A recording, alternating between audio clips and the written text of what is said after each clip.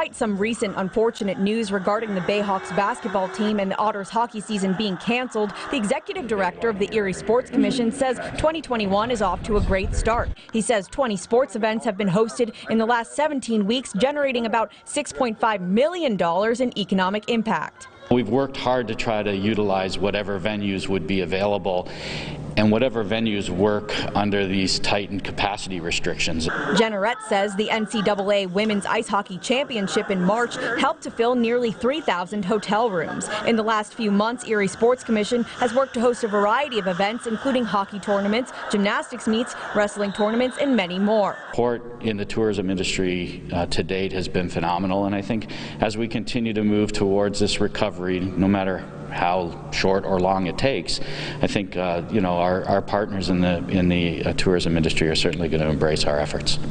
The general manager of one local hotel says the reemergence of sports events has helped the entire region. Bringing business here to the months that we really needed it, uh, particularly with youth sports, uh, NCAA, a lot of gymnastics, cheerleading, hockey. Uh, it's been a great January, February for March because of those groups coming to Erie.